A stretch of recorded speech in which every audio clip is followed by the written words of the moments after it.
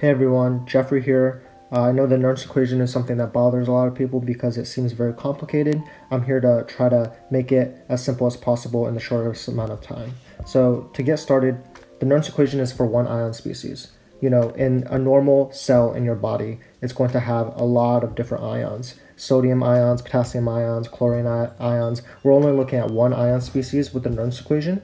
So let's get to the equation itself. It's uh, EM, which is the membrane potential, is equal to um, RT over ZF times the log of the inside concentration of that one ion and the outside concentration of that one ion. So the reason why it says membrane potential right here is because we're assuming that this cell only deals with one ion. So if I'm, on, I'm only looking at uh, sodium, I'm only looking at potassium.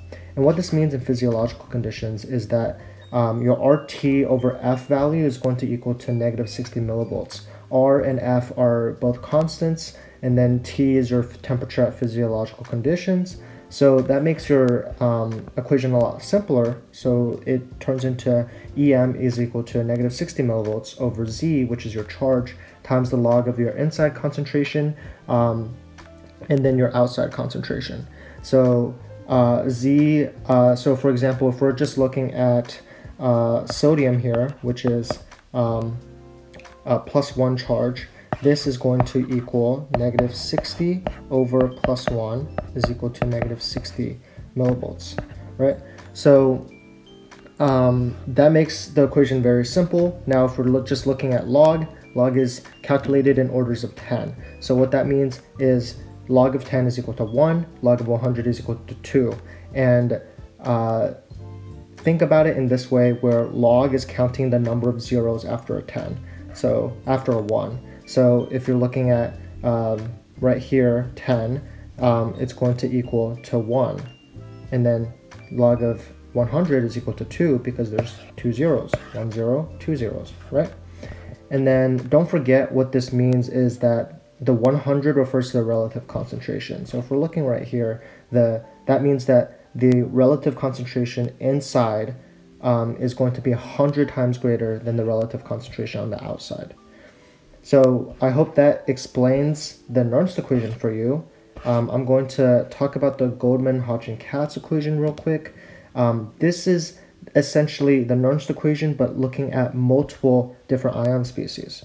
So Vm, which is the voltage of your membrane, is going to equal to your fractional conductance of all your different ions. So the major ones in this equation and the major ones in physiological conditions um, is uh, you know your potassium, your sodium, and your chlorine.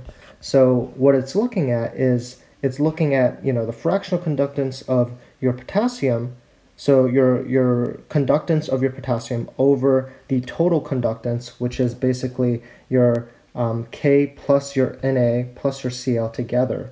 So that's what makes up the fractional conductance. It's basically the conductance of one ion over the total amount of conductance through the entire cell. So what this equation is saying is that when you have a cell, you have a potassium channel right here, you also have a sodium channel, and you also have a uh, chlorine channel. When you're looking at the Nernst equation, you're only looking at one channel. So you're only looking at um, say the sodium oh potassium channel. So what this does is that it's a much um, more representative um, function in terms of trying to calculate um, what exactly is going on inside of a cell uh, with the ions that you're looking at. And these EK, ENA, ECl, those are all from the Nernst equation that you can calculate. Um, when you're you know isolating your potassium, your sodium, and your chlorine. I hope this helps and have a good day.